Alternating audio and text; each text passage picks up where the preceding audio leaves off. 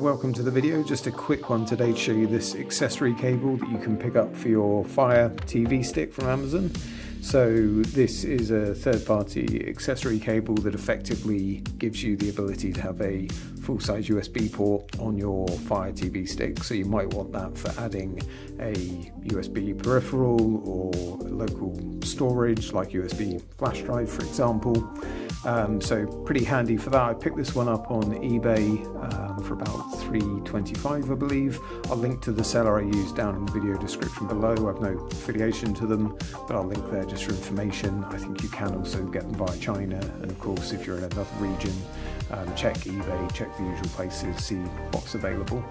Um, so yeah, effectively you can do things like add, say, this Logitech Unify receiver for a remote keyboard and mouse.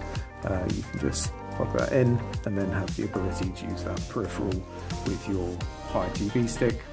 Um, what you would then do, so I'll take the Fire TV stick in here now, make sure you're using from generation 2 onward.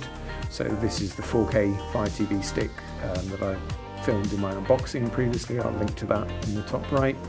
And then you take the micro USB um, male connection from this new cable and you just plug that into the side of your uh, Fire TV stick where you would normally plug your power cable in. So you've now got something looking a bit like this and then you would take the power uh, from your Amazon Fire TV stick.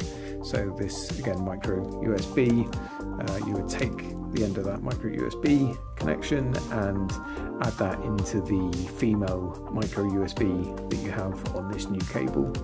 So you're kind of bypassing the power connection into the Fire TV stick to add in this new USB port where you can plug in your accessory or um, yeah, dongle for wireless keyboard and mouse or um, local storage.